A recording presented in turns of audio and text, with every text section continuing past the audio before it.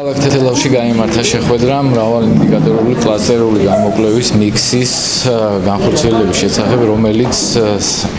რომელსაც გაეროს ბავშვთა ფონდისა და სხვა დონორი ორგანიზაციების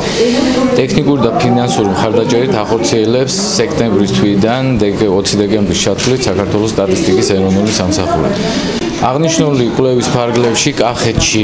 72 წაღწერო უბანში გამოიკითხება 1440 შინამეურნეობა და შეგროვდება ისეთი მნიშვნელოვანი ინფორმაცია, როგორც არის მონაცემები ოჯახის მდგომარეობის შესახებ, განათლების ჯანდაცვის, ეთნიკური შემადგენლობის, ბავშვის აღზრდის, ადრეული ქორწინების, ასევე 2-დან 7 წლის ასაკის ბავშვების სისხლში დადგინდება ტყვის შემცველობის ოდენობა და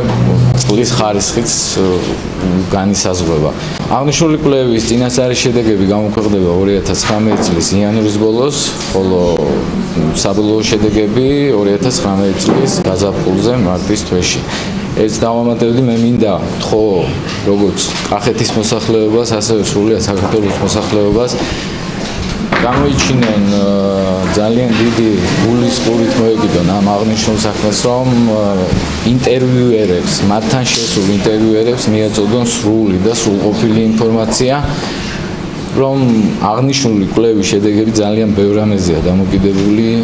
შემდგომი პოლიტიკის განსაზღვრის კუთხით. ზოგადად კვლევა არის მრავალ ინდიკატორული, ანუ ინფორმაცია გროვდება ძალიან ბევრი სხვადასხვა მაჩვენებლის შესახებ, როგორიც არის სხვადასხვა სფეროში, როგორიც არის განათლება, ჯანდაცვა, სოციალური განვითარება და ასე შემდეგ.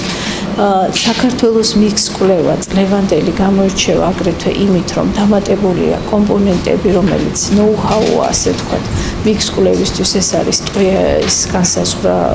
2-დან 7 წლამდე ასაკის ბავშვებში, რომელიც დაავადებათა კონტროლის ცენტრისა და ჯანდაცვის სამინისტროს თხოვნით დაემატა. ამ კვლევას ნიშნულოვანია იმით, რომ გვექნება ინფორმაცია ძალიან ბევრ ინდიკატორზე და რა თქმა უნდა, როგორც დაავადებათა კონტროლის ცენტრის თანამშრომელი, განსაკუთრებით ხაზგასმით მინდა აღვნიშნო წყლის კომპონენტი, რომელსაც ჩვენ ვაკეთებთ და რომელიც მოგცემს ინფორმაციას თუ რა როგორ წყალს მოვიხმართ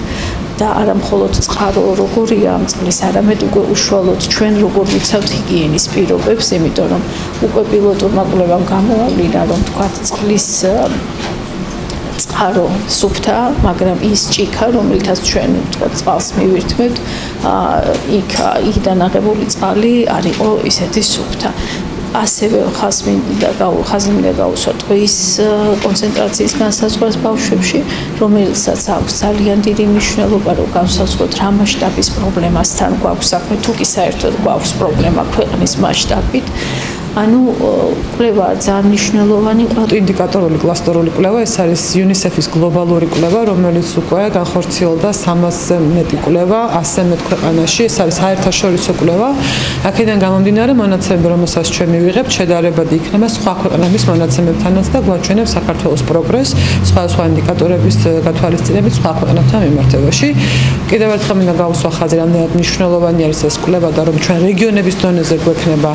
სანდო სტატისტიკა სტატისტიკური ინფორმაცია და მოუწოდო მოსახლეობას რომ აქტიურად ითანამშრომლონ ჩვენს ინტერვიუერებთან და გულწრფელად გაცემ პასუხები კითხვებს რომ ჩვენ სანდო ინფორმაცია მივიღოთ ამ კვლევის შედეგად